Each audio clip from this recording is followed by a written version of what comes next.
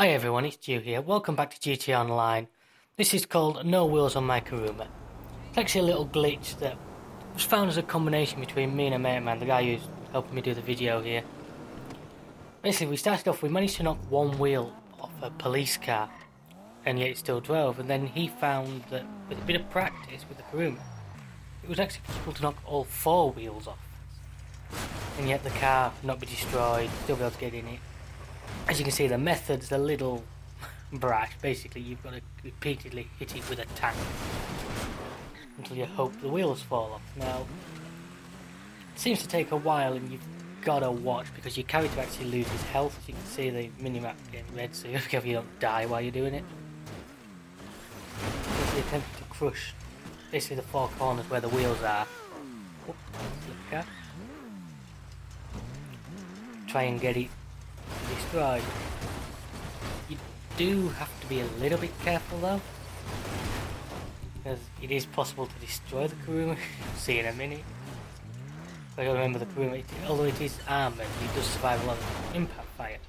It's actually not bomb proof, it's not explosion proof, so don't try shooting it with the tank. Sort of reminds me of the deformation of, remember GTA 4, you had the um, very powerful gun, there's the explosion they used to deform cars. Now this seems to do that to an extent, but so if you do it enough, we're about to see it is possible to actually start knocking the wheels off. More body armour, more There we are, look, you can see there how it's lost. Wheels just complete, I've just left a stub. Now you can see with a bit more work, we got it to this. No wheels. The weird thing is the way it's still the game will let you get in and out of it, which surprised me. I thought the game would get destroyed. Now, what we're trying to do here is I was trying to push it. I wanted to get it into Los Santos Customs. What I actually wanted to do, which I completely forgot, was look at how much the repair cost was going to be. I'd say I unfortunately forgot that. Just run it over. But we were trying to. I had to use the insurgent obviously because no other vehicle's heavy enough to push the Kuruma around. At this point, the tank's gone. It, it, wasn't a personal tank, it was an NPC spawn. I may do a video in a later date of how we got that, because it's actually quite an interesting method of getting one of the NPC tanks.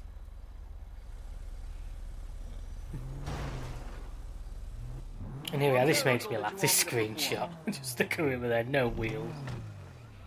And this is the second part, this is like the second part of the glitch that Mark showed me. As you can see, again now, it appears to me to be when the doors open, what causes this, you see, if you, you hold accelerate and brake and then steer, it will spin on the spot.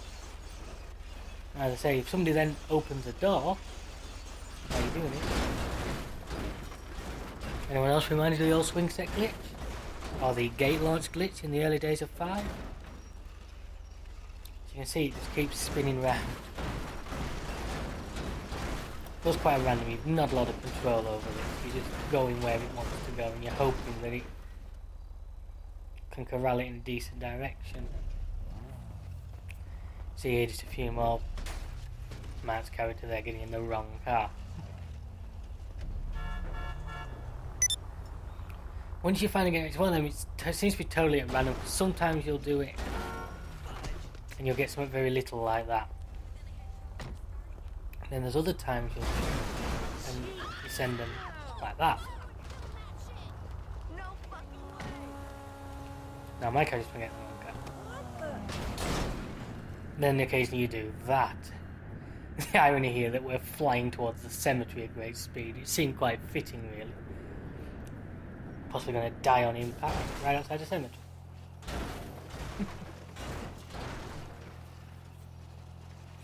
This was really funny. We kept this going for a long time. I've just shown some of the best launches we had. Whoa!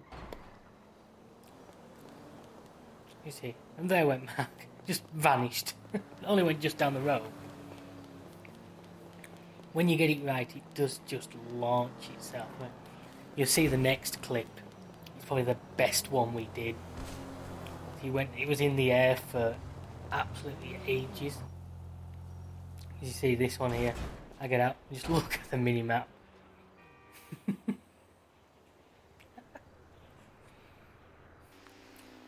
So this is actually sped up footage of me trying to follow him. This footage is actually about two minutes worth, and all that time he's still pinging around up in the air, going in various different directions. All over the place. It starts off, goes over the vanquishers, and then suddenly starts heading back towards the city, so I try and give chase.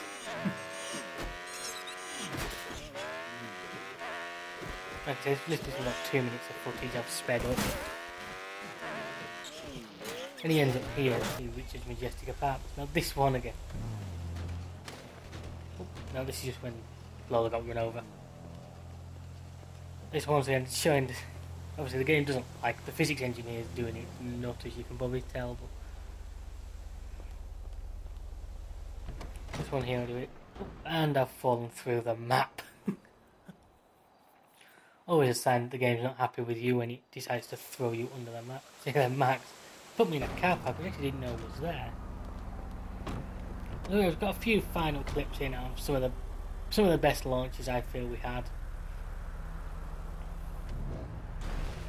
I don't know how long this is going to work for. Chances are these are one of the ones because it's not really to the game. Will get patched. But either way, once you get it right and you get it to launch correctly, you can get some really good distance. Like that. I didn't notice the car ever trying to set on fire or anything, so hopefully it doesn't do itself enough damage to blow up. This, this was actually a uh, freshly bought Kuruma, hence the slightly garish colour scheme. It has since been repainted correctly. That one with a bit of delayed reaction there. But anyway, that's the video. I hope you, I hope you enjoyed it, people. Thank you for watching, and until next time, see ya. Goodbye.